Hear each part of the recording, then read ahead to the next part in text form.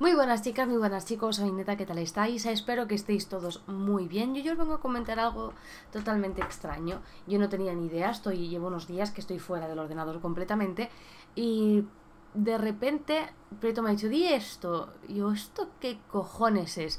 Ahora resulta que en Twitch hay como una, un apartado que se llama Social Eating y es hacer un live streaming mientras comes, o sea, mostrando lo que comes muy lúdico todo, de verdad.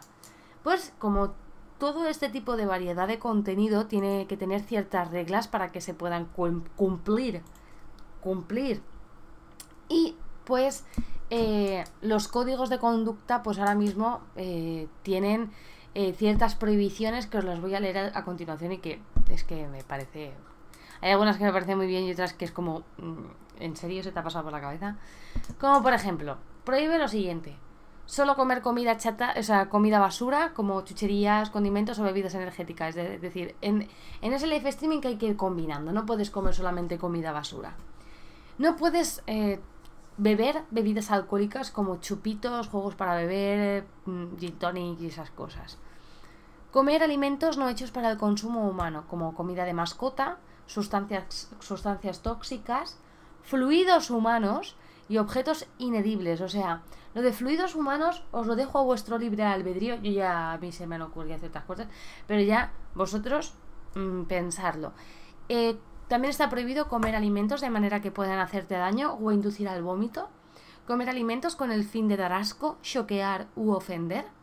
Retos de comidas como por ejemplo llenarse la boca, comer rápido, entre otras cosas retos de comida que tengan como objetivo el cambio de dinero, bienes o servicios como, como por ejemplo las apuestas, alimentar a otros como bebés o mascotas, eso está totalmente prohibido. No lo acabo de entender. Lo de los bebés sí, pero lo de las mascotas no, no me acaba de llegar a mí. Y transmitir desde un vehículo en movimiento como un viaje a la tienda de la esquina, mercado, restaurante, etc.